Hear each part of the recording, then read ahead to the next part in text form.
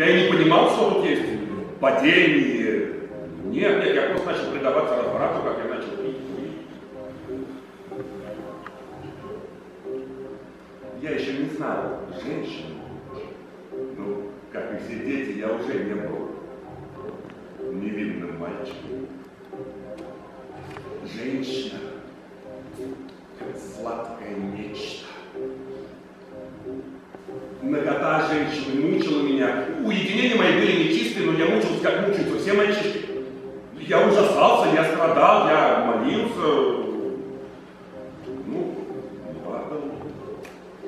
Да, но последний шаг еще не был сделан. Я погибал один, еще не налагая руки на другое человеческое существо. Ну вот, товарищ брат, студент, весельчак, так называемый добрый малый, однажды после покойки говорит, а едем туда.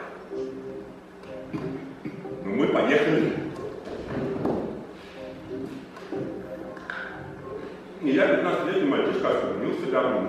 Ну и содействовал осквернению женщины вовсе. Не понимаю того, что я делаю. Ну а что, ни от кого не слышал, что это было дурно. Напротив, я слышал, как здоровье, хорошо.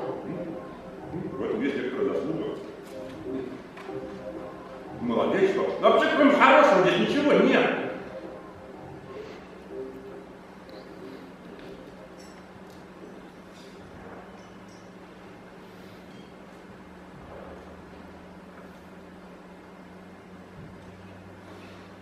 Нет, а все-таки в этом первом падении было что-то такое особенное, трогательное. Помню, мне точно, не выходя из комнаты, сделалось так, так грустно-грустно. Так грустно, что плакать захотелось. Плакать о погибели невинности, о навеки погубленном отношении. Ведь разврат, он ни в чем-нибудь физическом. Нет, это разврат, истинный разврат состоит в освобождении себя от нравственного отношения к женщине, с которой входишь в физическое общение.